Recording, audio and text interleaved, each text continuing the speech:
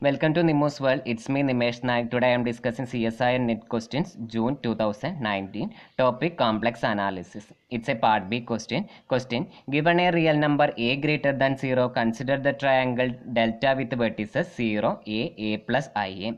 If delta is given the counterclockwise orientation, then the contour integral integral over delta r of z dz, where r of z denoting the real part of z is equal to option number 1 0, option number 2 i into a square divided by 2, and option number 3 i into a square, and option number 4 i into 3a square divided by 2.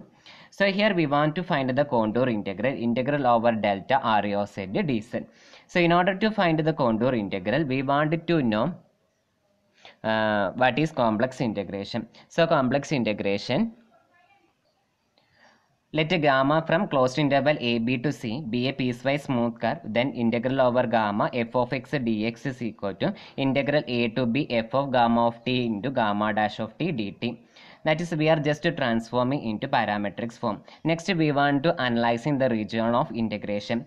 Given that the region of integration is a triangle with vertices 0 a a plus ia so we want to draw the region of integration. So the region of integration is a triangle with vertices 0 0 a 0 and a a so the region of integration uh, like this. And this take this line as gamma 1 and this line as gamma 2 and this line as gamma 3 next we want to find the parametric equation of gamma 1 gamma 2 and gamma 3 so first consider the line gamma 1 uh, line gamma 1 here look this is a line y is equal to 0 and here only varying x uh, so uh, the parametric equation of gamma 1 is gamma 1 from closed interval 0 a to c by gamma 1 is equal to t plus i0 and now consider gamma 2 here the x coordinate is constant. That is x is equal to a and here only vary y.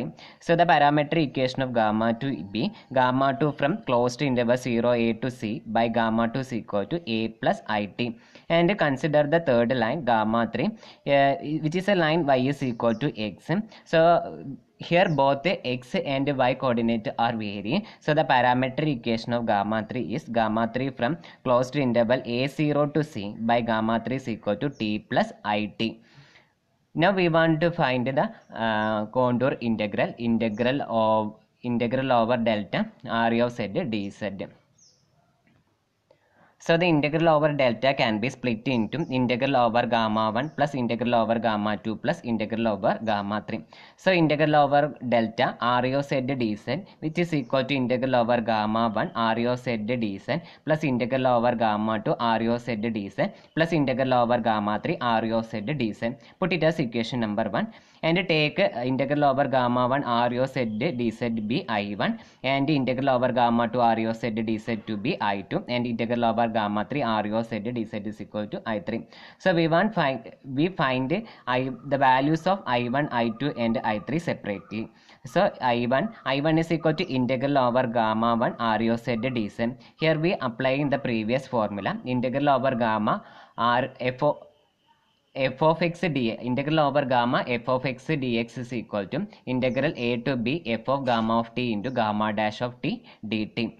Uh, so here the r of z of gamma 1 b t and gamma dash of t is 1 so this integral become integral 0 to a t into 1 dt on simply calculation we get the value a square divided by 2 so we get i1 is equal to a square divided by 2 and also i2 is equal to integral over gamma to r of z dz then the real part of gamma to be a. So this like a. And gamma dash of t is i. So this integral become integral 0 to a. A into i into dt so which is equal to a square i so we get i2 is equal to a square i next we find i3 i3 is equal to integral over gamma 3 r o z dz so um, the real part of this be t and gamma dash of t dt gamma dash of t is 1 plus i.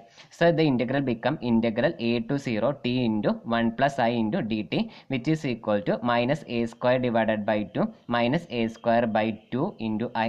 So we find the values i1 i2 and i3 now we substitute these values on equation number 1 So the equation number 1 become integral over delta r of z dz is equal to a square by 2 plus a square i minus a square by 2 minus a square by 2i. A, a square by 2 and a square by 2 are cancelled. Then we get a final answer a square i divided by 2. That is we get integral over delta r of z dz is equal to a square i divided by 2 that uh, therefore we conclude that the second option is correct and the remaining options are false. So the first option is wrong and third option is wrong and the fourth option is also wrong. Thank you. If you like my video please subscribe my channel and also share with your friends and like